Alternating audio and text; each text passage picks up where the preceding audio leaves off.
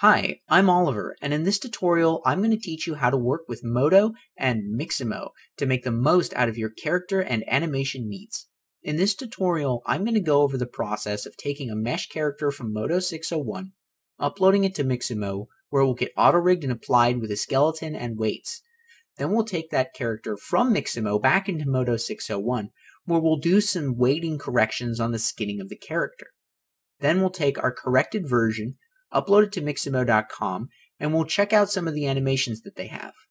We'll pull some of those animations from Mixamo.com, bring them down the pipe back into Modo 601, and I'm going to teach you guys about actors, actions, and poses, and how you can make the most of those in your animation daily needs. Then we'll take that character out, we'll bring it into the Unity game engine, and I'll show it working in the engine, and I'll talk a little bit about how that comes together in the final product. Lastly, at the very end, I'm going to go over some troubleshooting tips and tricks for things you can, can't do, and problems you might run into. There's a lot to do here, so let's go ahead and get started.